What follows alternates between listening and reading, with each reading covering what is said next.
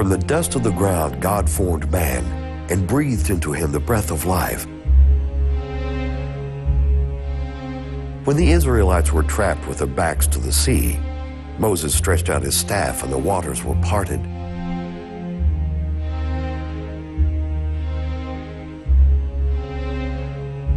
Samson struck down a thousand oppressors of Israel with the jawbone of a donkey. At the blast of trumpets and a war cry, Joshua watched the walls of Jericho crumble.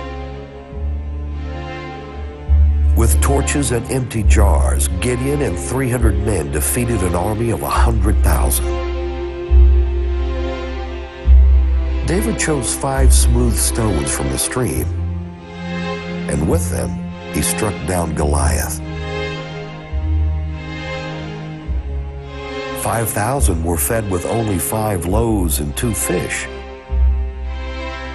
If God can use such small things to change the course of history, certainly he can use you.